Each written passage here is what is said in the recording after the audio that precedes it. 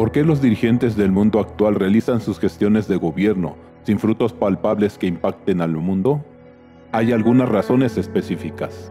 Escucha la reflexión de San Enrique y descubre la clave para que una persona realice una gestión de gobierno exitosa y fructífera.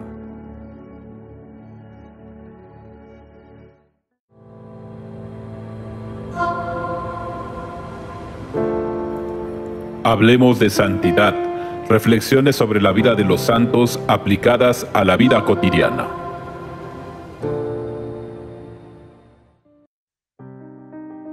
San Enrique, emperador.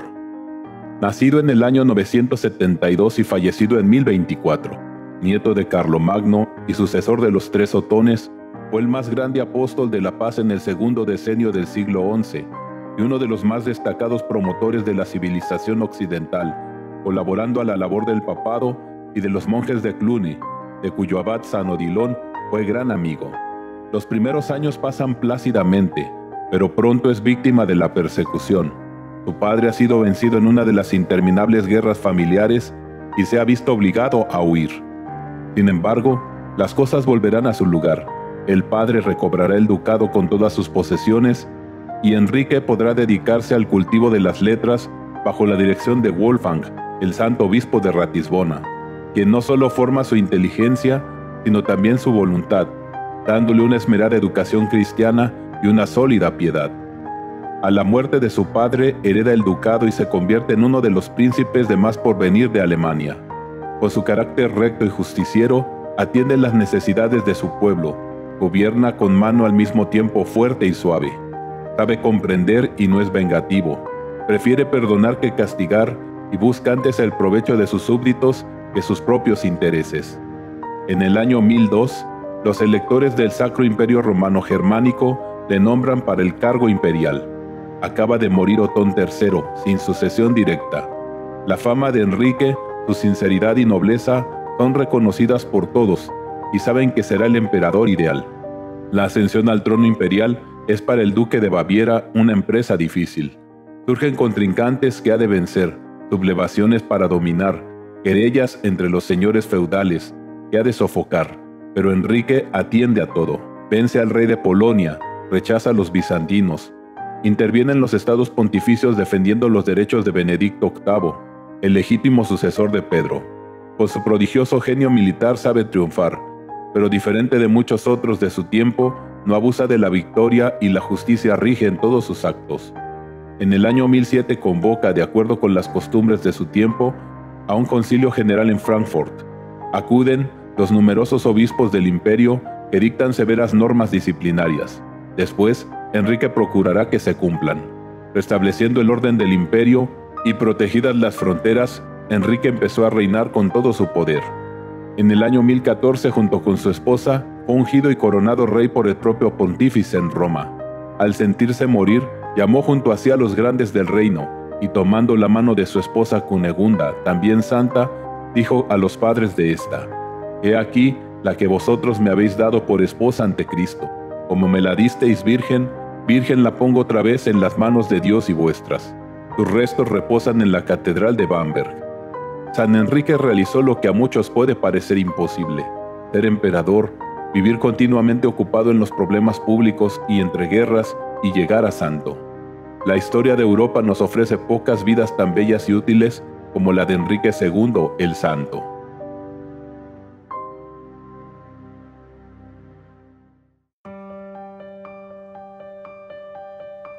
Una persona con sólidos valores humanos y cristianos no se encuentra por azares del destino, sino que se forma desde el seno del hogar con padres que infunden esos valores y le enseñan a ser honesto y trabajador. La mayoría de nuestros dirigentes actuales, si bien son católicos, muestran una profunda carencia de valores cristianos, los cuales no fueron inculcados de manera sólida por sus predecesores, y esta es la razón por la que motivados por el egoísmo y la soberbia, son capaces de producir todo género de males sociales al no velar por el bien de un pueblo, sino por su beneficio personal. Esto sucede porque en la actualidad las familias forman a sus miembros con la filosofía del bienestar humano, de tal manera que para todos ellos lo más importante es vivir bien, tener éxito en la vida, lograr tener mayores comodidades que les permitan satisfacer sus gustos y aficiones sin que nada se los impida. Esto produce seres humanos egoístas que solo piensan en su beneficio personal y se olvidan de que en el mundo existen muchas personas que no han sido afortunadas y necesitan apoyo para salir adelante. Asimismo, la sociedad requiere igualdad de condiciones para todos sus miembros, de manera que tengan la oportunidad de cubrir sus necesidades básicas y derechos fundamentales para obtener una sociedad más justa y equitativa.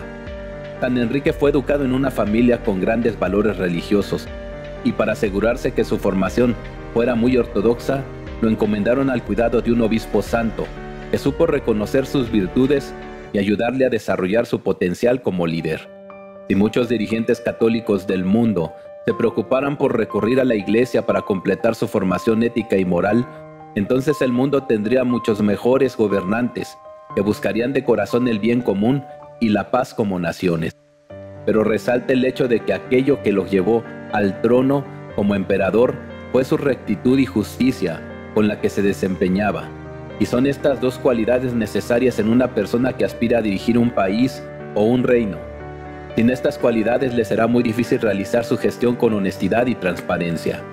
San Enrique fue un bienaventurado que trabajó por la paz, pues cuando se tiene a Dios en el corazón, se busca la paz con todo el mundo por sobre todas las cosas. Muchos de nosotros no tenemos paz porque nos hace falta Dios en nuestro corazón. Esto significa que es necesaria la frecuencia de los sacramentos, en especial la confesión y la Eucaristía, como alimento para nuestra alma. Digamos el ejemplo de San Enrique, quien con un corazón noble y sencillo sirvió a los demás, dejándose inspirar por el Espíritu Santo para gobernar con justicia y rectitud.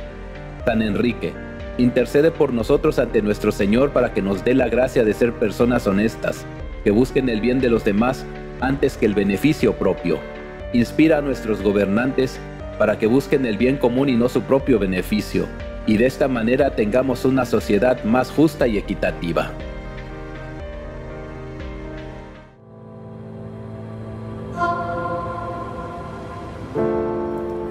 Hablemos de santidad Reflexiones sobre la vida de los santos aplicadas a la vida cotidiana.